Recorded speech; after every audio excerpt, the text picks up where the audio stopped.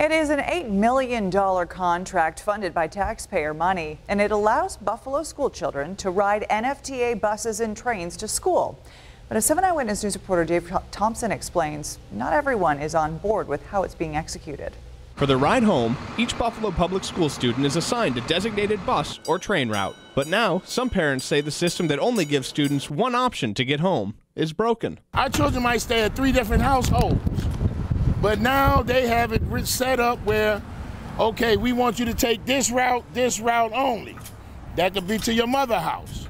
What if you want to go to your father house? Students speaking out as well, saying the current activity pass, which allows a student to ride up until 8 p.m., doesn't give some students access to a ride home. When they extended our school days, I don't really think they considered the fact that how we get home at night. I play a lot of sports. I play basketball now, and my game, I play varsity, so my games get out at 8 o'clock. That's what time my activity pass expires, how I'm supposed to get home.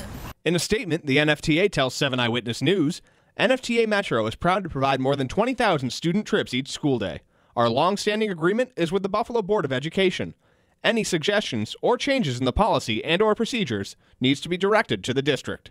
The Buffalo Parent Teacher Organization plans to hold a public forum with NFTA management as well as representatives from the Buffalo School District in early January to comment on what would help students have a better and safer trip home.